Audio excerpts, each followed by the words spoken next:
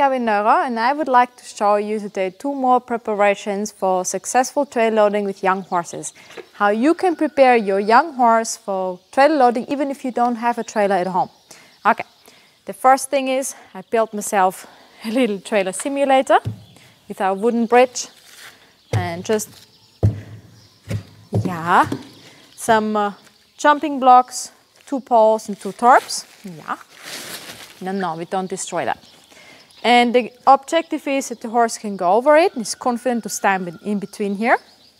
And then you stop on it and back off. Uh-uh. Yes. Slow. Yes. Like this. the horse learns to, well, get really confident with uh, stepping on a noisy surface, like the ramp of the trailer will be.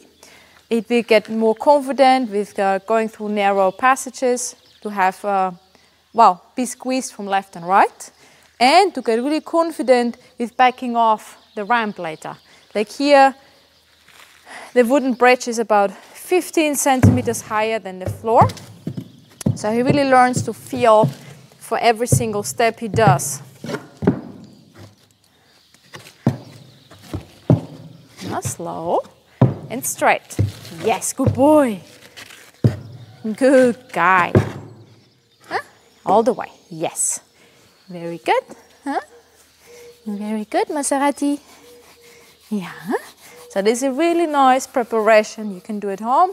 If you don't have a wooden bridge, you can take some pallets and reinforce it with uh, more planks if you don't have the holes.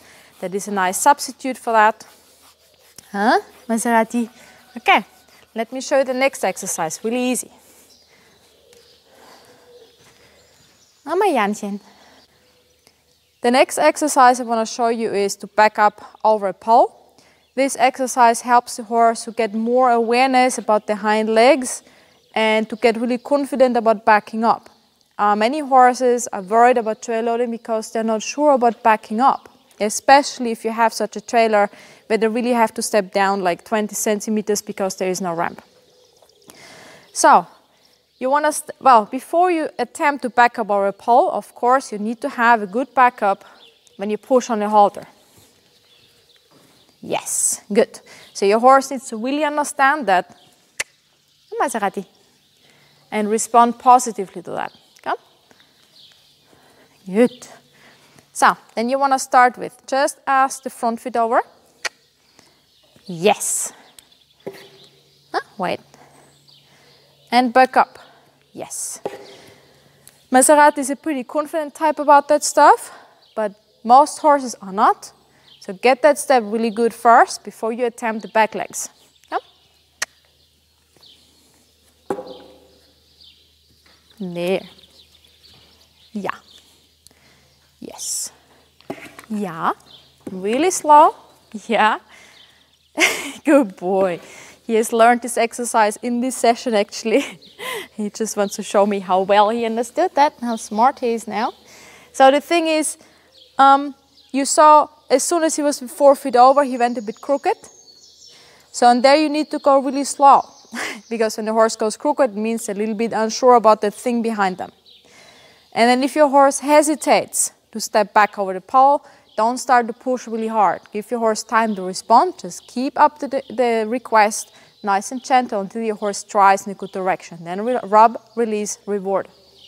So let me show you again. So what is really important is that your horse stays straight throughout the whole exercise. That your horse comes forward straight. Yeah. Stop straight. Yeah. One more foot. Yes. And backs up straight just like in a trailer too. One of the golden rules in trail loading is that the horse needs to stay straight at all times. Okay? Try again. Eh, eh, not the rope. Yeah, straight. Come a bit further. Back up, straight. Yes, good boy. No, all the way. Good. Forward. Yeah Up, straight. There it didn't stay straight.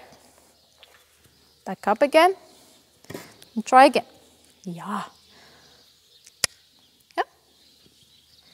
Yeah, it's about the communication here.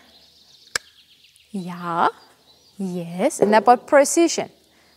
Yes, slow. Yes, good boy.